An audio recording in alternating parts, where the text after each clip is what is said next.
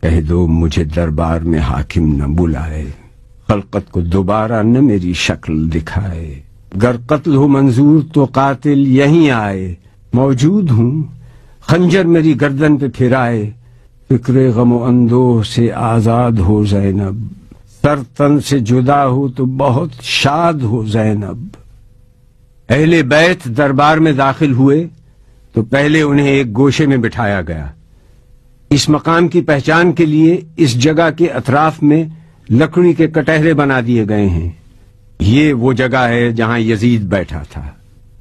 اہل بیت کو یزید کے سامنے پیش کیا گیا۔ یہی وہ مقام ہے جہاں جناب زینب نے خطبہ ارشاد فرمایا تھا۔ یزید سے اہل بیت کا تعارف کروایا گیا۔ اس نے پوچھا، یہ کنیزوں کے حلقے میں کون مغرور عورت بیٹھی ہے؟ جواب ملا، یہ علی کی بڑی بیٹی رسول کی نواسی زینب کبرا ہے۔ دربار والوں نے اٹھ اٹھ کر دیکھنا شروع کیا تو کنیزوں میں سے ایک کنیز نے کہا کہ تم لوگوں کو شرم نہیں آتی، اپنی گردنیں نیچی کرو۔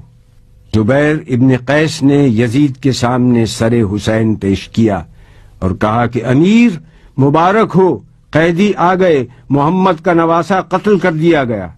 اس کے بعد شہدا کے سر پیش کیے گئے۔